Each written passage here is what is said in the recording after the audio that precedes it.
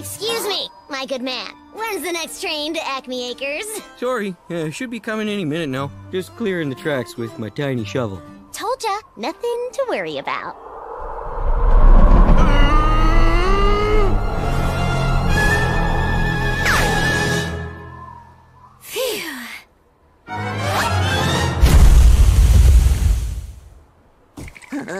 Sorry, it's gonna change the schedule.